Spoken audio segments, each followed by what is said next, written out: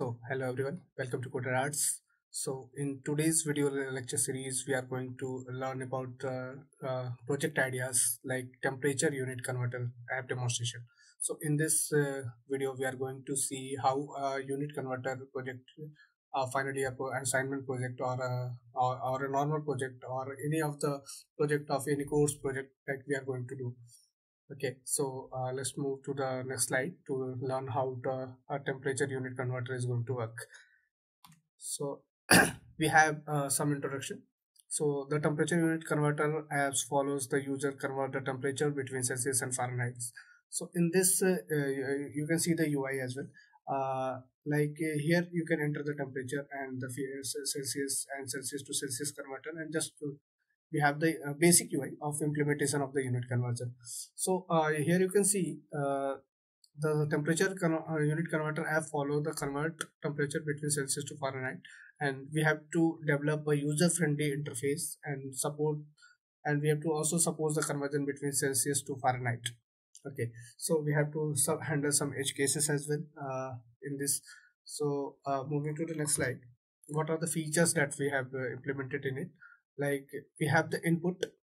Okay user can enter the temperature value in either celsius or fahrenheit using the edit text field. Okay so we have a edit text field and uh, we have to select some uh, selection. Like we can select what's the temperature unit if we want to convert. Okay so uh, user can choose the temperature unit they want to convert from the using the spinner. So we have added a spinner and from the uh, type of drop down spinner is a type of drop down we can select the temperature and uh, when we select it and when we have performed the real-time uh, temperature conversion based on the user input okay? So we also handle the some error error edge cases like if we uh, if we convert the celsius to celsius and other things uh, we have to display uh, some toast message. It's like if we didn't enter any of any of the uh, input in the edit text so we have to show the some error messages so uh, these are the things and let's go to the demonstration part. Uh, so it is a demonstration. Uh, first of all we have to enter the temperature value the user input in the temperature value in the edit text field. Okay?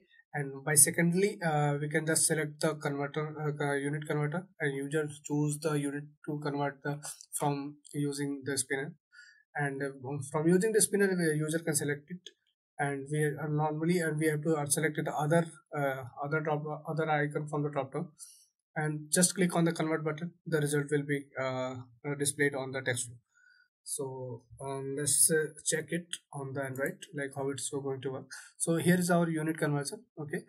So in this you can see we have a drop down celsius to fahrenheit and fahrenheit to celsius okay? So from celsius to celsius. So when we click on the celsius it is the celsius to fahrenheit. Like uh, when we enter any value okay?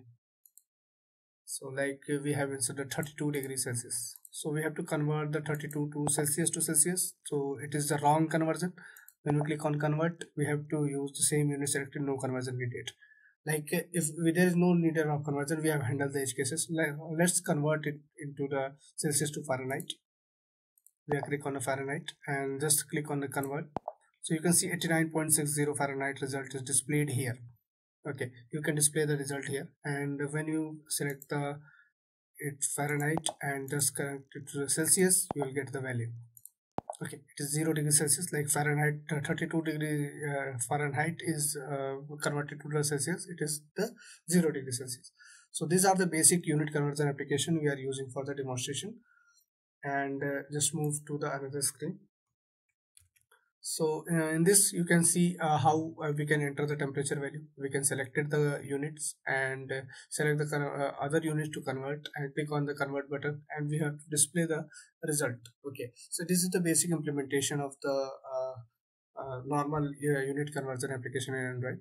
You can also use it in our in your final year project so if you have any doubt or any uh, need any assistance in your assignments or any coding project you can just uh, uh, connect with us and uh, at contact at CodersArts so we will definitely try to help you.